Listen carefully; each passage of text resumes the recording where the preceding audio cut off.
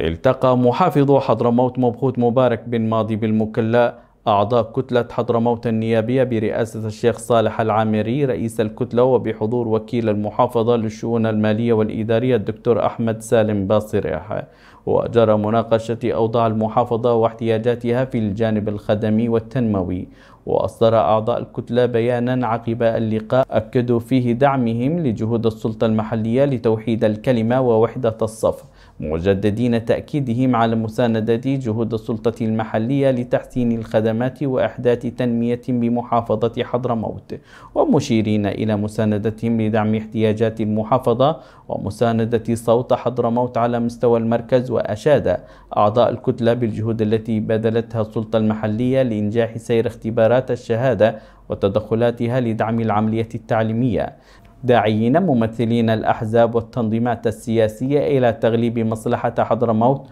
ووضعها فوق كل المصالح وتسخير الإمكانات وتوحيدها لخدمة المحافظة ودعت الكتلة النيابية بحضرموت إلى عقد لقاء موسع للمكونات الحزبية والتنظيمات السياسية لتدارس أوضاع المحافظة.